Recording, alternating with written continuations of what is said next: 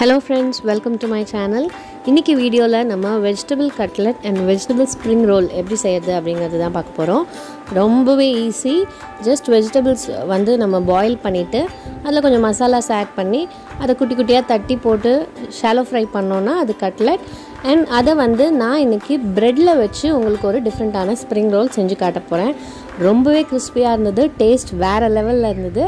So கண்டிப்பாக try பண்ணுங்கள் எப்படி பண்ணுறதுன்னு இப்போ வீடியோவில் பார்க்கலாம். இன்றைக்கி நான் வந்து வெஜிடபிள்ஸ் என்கிட்ட பொட்டேட்டோ கேரட் அண்ட் பீட்ரூட் தான் இருந்தது. அதான் எடுத்திருக்கேன். மூணு பொட்டேட்டோ எடுத்திருக்கேன். பீட்ரூட் அண்ட் கேரட் வந்து ஒன்று ஒன்று எடுத்திருக்கேன். ஏன்னா அது வந்து கொஞ்சம் ஸ்வீட்னஸ் இருக்குன்றதுனால அது கம்மியாக எடுத்துக்கோங்க. பொட்டேட்டோ வந்து அதிகமாக எடுத்துக்கோங்க. அப்போ டேஸ்ட் நல்லாயிருக்கும். ஸோ இதெல்லாம் ஃபஸ்ட் நம்ம வந்து வாஷ் பண்ணிக்கலாம். இது கூட பட்டாணி காலிஃப்ளவர் அந்த மாதிரி எது உங்ககிட்ட இருந்தாலும் நீங்கள் ஆட் பண்ணிக்கலாம். ஸோ இது எல்லாத்தையும் வந்து நல்லா கழுவிட்டு தோல் சீவிட்டு பொடி பொடியாக நறுக்கிக்கலாம். பொடியாக நறுக்கிட்டோன்னா நமக்கு ஈஸியாக குக் ஆகிடும் இப்போ அதெல்லாம் நான் வந்து கட் பண்ணி குக்கரில் போட்டு வச்சுருக்கேன். ஸோ இது கூட நம்ம வந்து ஒரு ஒரு கிளாஸ் இல்லை ஒன்றரை கிளாஸ் தண்ணி நம்ம ஆட் பண்ணிக்கலாம். ஆட் பண்ணி குக்கரை மூடி நம்ம வேக வச்சுக்கலாம். இதை வந்து ஒரு த்ரீ டு ஃபோர் விசில்ஸ் நீங்கள் வச்சுக்கோங்க. நல்லா பாயில் ஆகிடும் இது. இப்போ பாருங்கள் நல்லா பாயில் ஆகிடுச்சு பாயில் ஆன உடனே அதில் இருக்க எக்ஸஸ் வாட்டரை வந்து ட்ரெயின் பண்ணிவிடுங்க இந்த தண்ணியோடவே நீங்கள் மசிச்சிங்கன்னா ரொம்ப தண்ணி ஆகிடும் கட்லட் தட்டும் போதெல்லாம் ரொம்ப கஷ்டமாக இருக்கும். ஸோ இருக்கிற தண்ணியை நீங்கள் வந்து ட்ரெயின் பண்ணிவிடுங்க அதை நீங்கள் சூப் மாதிரி கூட குடிச்சிடலாம். சால்ட் அண்ட் பெப்பர் போட்டு. இல்லை அதுக்கப்புறம் தான் குழம்பு வைக்க போகிறீங்கன்னா அதில் ஊற்றிடலாம் இல்லை சப்பாத்தி ஏதாவது செய்ய போகிறீங்கன்னா அதுக்கு ஊற்றி பிசைஞ்சிக்கலாம் அந்த தண்ணியை. இப்போ இதை நான் நல்லா மசிச்சுக்கிறேன். இதில் இருக்க தண்ணியே உங்களுக்கு வந்து பார்த்தீங்கன்னா இந்த மசித்த உடனே கொஞ்சம் வாட்டரியாக தான் இருக்கும் இது. ஸோ கண்டிப்பாக தண்ணியை எக்ஸஸ் தண்ணியை ட்ரெயின் பண்ணிவிட்டு நீங்கள் நல்லா மசிச்சுக்கோங்க. பொட்டேட்டோ மேஷர் வச்சு நல்லா மசிச்சுக்கோங்க.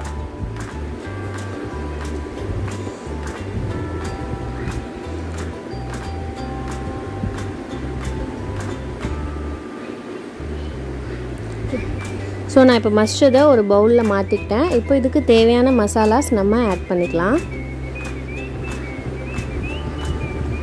நான் வந்து ஒரு ஒன்றரை டீஸ்பூன் சில்லி பவுடர். மிளகாத்தூள் வந்து ஒரு ஒன்றரை ஸ்பூன் ஆட் பண்ணிக்கிறேன்.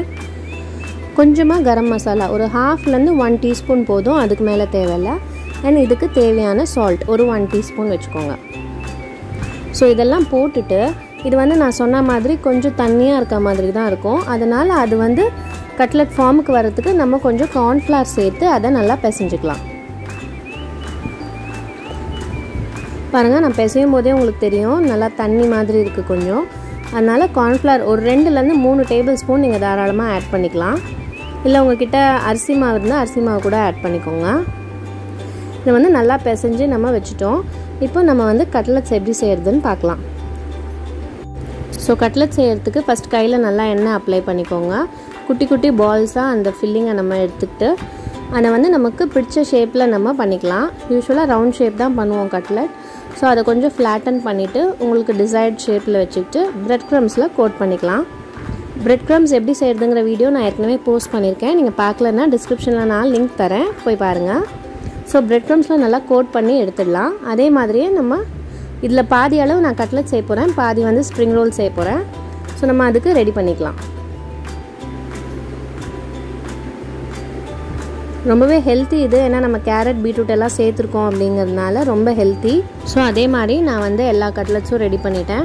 ரவுண்ட் ஷேப் தான் பண்ணணும் இல்லை ஹார்டின் ஸ்கொயர் ட்ரையாங்கிள் இப்படி குழந்தைங்களுக்கு பிடிச்ச மாதிரி எந்த ஷேப் வேணால் நீங்கள் பண்ணிக்கலாம். இதை நம்ம வந்து ஷாலோ ஃப்ரை பண்ணி எடுக்க போகிறோம் ஸோ இப்போ நான் ஸ்டவ்வில் வந்து ஒரு பேன் வச்சுருக்கேன். ஸோ அதில் கொஞ்சமாக ஒரு ஒன் டேபிள் ஸ்பூன் ஆயில் தான் நான் ஆட் பண்ணியிருக்கேன் ஸோ அதில் நம்ம கட்லெட்ஸை போட்டு ஃப்ரை பண்ணி எடுத்துக்கலாம். மீடியம் ஃப்ளேமில் வச்சுக்கோங்க. இல்லைன்னா அவுட்டர் பிரெட் க்ரம்ஸ் வந்து ரொம்ப டார்க் ஆகிடும் ரொம்பவே ஜென்டலாக ஹேண்டில் பண்ணோம் இதை. ஆல்ரெடி குக்கான வெஜிடபிள்ஸ் தான் அப்படிங்கிறதுனால ரொம்ப நேரம் குக் பண்ணோங்கிற அவசியம் கிடையாது. ஒவ்வொரு சைட்லேயும் ஒரு thirty seconds to one minute நீங்கள் ஃப்ரை பண்ணிங்கனாலே போதும்.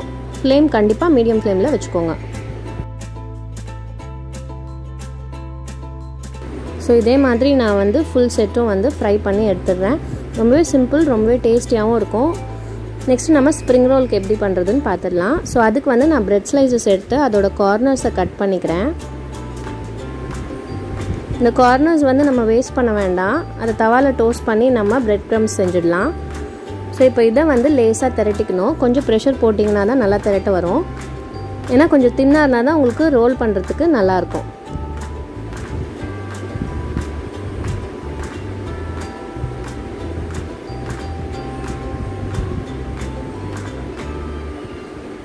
பாருங்கள் நான் நல்லா தின்னாக ரோல் பண்ணிட்டேன். இதே மாதிரி நம்ம வந்து நமக்கு தேவையான அளவு பிரெட்ஸ் எல்லாத்தையும் வந்து கார்னர்ஸ் கட் பண்ணிவிட்டு ரோல் பண்ணி வச்சிடலாம். பாருங்கள் நான் இங்கே வந்து ஒரு ஃபைவ் டு சிக்ஸ் ஸ்லைசஸ் வந்து நல்லா தின்னாக ரோல் பண்ணி வச்சுருக்கேன். ஸோ இப்போ இதில் நம்ம ஸ்ப்ரிங் ரோல் எப்படி செய்கிறதுன்னு பார்க்கலாம். அதே ஃபில்லிங் தான் நான் யூஸ் பண்ண போகிறேன் இன்றைக்கி ஸோ அதே ஃபில்லிங் நான் எடுத்திருக்கேன். அந்த பிரெட் ஸ்லைசஸ் எடுத்திருக்கேன். ஸோ ஃபஸ்ட்டு நம்ம பிரெட் ஸ்லைஸ் எடுத்துக்கலாம். ஸோ கையில் லைட்டாக தண்ணி இல்லை எண்ணெய் தொட்டுக்கோங்க. இந்த ஃபில்லிங் வந்து ரொம்ப நிறைய வைக்கக்கூடாது. ஏன்னா நம்ம ப்ரெட்டை ரோல் பண்ணணும். நிறைய வச்சிட்டிங்கன்னா வெளியே வந்துடும் ஸோ கொஞ்சமாக நீங்கள் ஒரு ரவுண்ட் எடுத்துக்கிட்டு அதை வந்து சிலிண்ட்ரிக்கெல்லாம் பண்ணிவிட்டு இப்படி ப்ரெட்டில் வச்சுட்டு ப்ரெட்டை ரோல் பண்ணிவிட்டு கார்னரை ஒட்டுறதுக்கு நீங்கள் வந்து தண்ணி யூஸ் பண்ணிக்கோங்க. ப்ரெட்டில் வந்து தண்ணியில் நினச்சிங்கன்னா அது நல்லா சாஃப்ட் ஆகிட்டு அதோட ஒட்டிக்கும். கார்னர்ஸையும் நம்ம வந்து தண்ணி தொட்டு நல்லா சீல் பண்ணிடலாம்.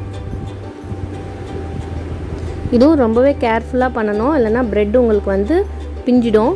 ரொம்பவே சாஃப்டாக இருக்கும். அதனால் கொஞ்சம் பொறுமையாக தான் பண்ணணும். தண்ணி வச்சு நீங்கள் சீல் பண்ணிங்கனாலே நல்லா சீல் ஆகிடும் இது. ஸோ இதே மாதிரி நான் வந்து எல்லா ஃபில்லிங்கையும் வந்து ப்ரெட் உள்ளே வச்சு க்ளோஸ் பண்ணிக்கிறேன்.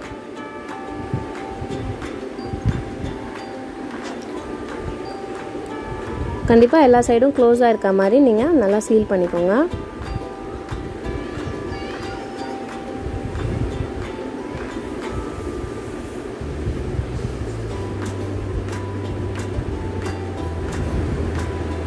ஸோ இதே மாதிரி இருக்கிற ஃபில்லிங்கை நான் வந்து எல்லா ப்ரெட்டுக்குள்ளேயும் வச்சு ப்ரெட்டை நல்லா சீல் பண்ணிடுறேன். ஓப்பனிங் இல்லாத மாதிரி பார்த்துக்கோங்க. ரொம்பவே கிறிஸ்பியாக இருக்கும் இந்த டிஷ்ஷும் கட்லெட்டை விட இது வந்து ரொம்பவே கிறிஸ்பியாக இருக்கும். குழந்தைங்களுக்கு ரொம்பவே பிடிக்கும். ஆயில் அப்சார்ப் பண்ணவே பண்ணாது இது. நல்லா ட்ரையாக தான் இருக்கும். ரொம்ப ஆயிலியாலாம் இருக்காது. ஸோ இப்போ நம்ம இந்த ஸ்ப்ரிங் ரோல்ஸ் ரெடி பண்ணிட்டோம். இப்போ நெக்ஸ்ட் ப்ரொசீஜர் பார்த்தீங்கன்னா நான் கொஞ்சம் கார்ன்ஃப்ளவர் கரைச்சி வச்சுருக்கேன். தண்ணி ஊற்றி ஒரு ரெண்டு டீஸ்பூன் கார்ன்ஃப்ளவர் அப்புறம் பிரெட் க்ரம்ஸ் எடுத்து வச்சுருக்கேன். ஸோ நம்ம பண்ணி வச்ச ஸ்ப்ரிங் ரோலை ஒன்று ஒன்றா இந்த கார்ன்ஃப்ளவரில் நம்ம டிப் பண்ணிவிட்டு பிரெட் க்ரம்ஸில் கோட் பண்ணி நம்ம ஃப்ரை பண்ணி எடுக்க வேண்டியதான் கார்ன்ஃப்ளவர் வந்து ஜஸ்ட் அந்த பிரெட் க்ரம்ஸ் நல்லா அதில் ஒட்டணும் அப்படிங்கிறதுக்காக தான். பிரெட் க்ரம்ஸில் நல்லா போட்டு கோட் பண்ணிவிட்டு நீங்கள் எடுத்து வச்சுடுங்க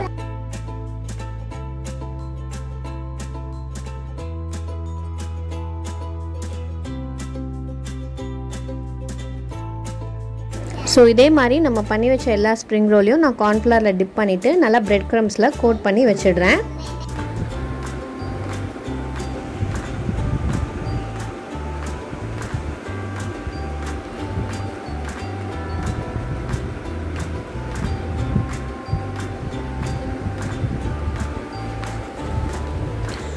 ஸோ நம்மளோட எல்லா ஸ்ப்ரிங் ரோல்ஸும் ரெடி இப்போ நம்ம இதை வந்து ஃப்ரை பண்ணிக்கலாம்.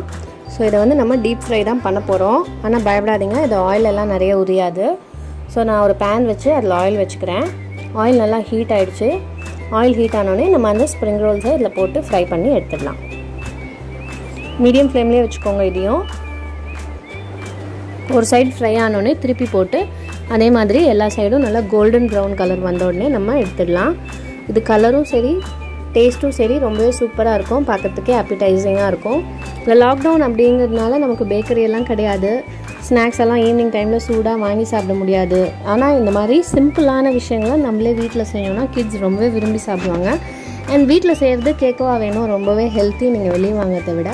ஸோ கண்டிப்பாக இந்த ரெசிபி ட்ரை பண்ணி பாருங்கள் ரொம்பவே டேஸ்டியாக இருக்கும். பசங்களுக்கு ரொம்பவே பிடிக்கும்.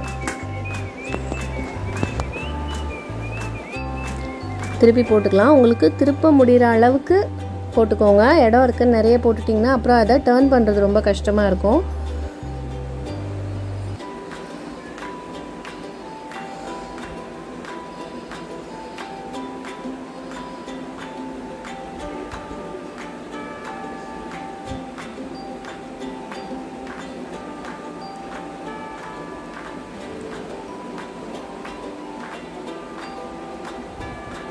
பாருங்கள் கோல்டன் ப்ரௌன் கலரில் சூப்பராக இருக்குது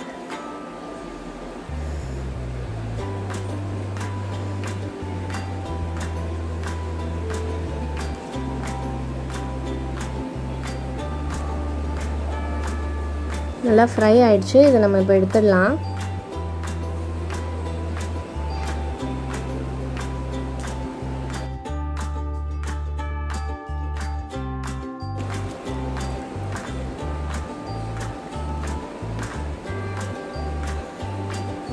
ஸோ சூப்பரான cutlet and spring roll ready இந்த ரெண்டு ரெசிபியும் ரொம்பவே ஈஸி ஆனால் டேஸ்ட் வந்து சூப்பராக இருக்கும். நீங்கள் கண்டிப்பாக ட்ரை பண்ணி பாருங்கள் ட்ரை பண்ணிவிட்டு உங்களோட ஃபீட்பேக்கை எங்களுக்கு கமெண்ட்ஸில் சொல்லுங்கள் இந்த வீடியோ உங்களுக்கு பிடிச்சிருந்தா கண்டிப்பாக லைக் பண்ணுங்கள் உங்கள் ஃப்ரெண்ட்ஸ்க்கு ஷேர் பண்ணுங்கள் எங்கள் சேனலுக்கு சப்ஸ்கிரைப் பண்ணுங்கள் பாய்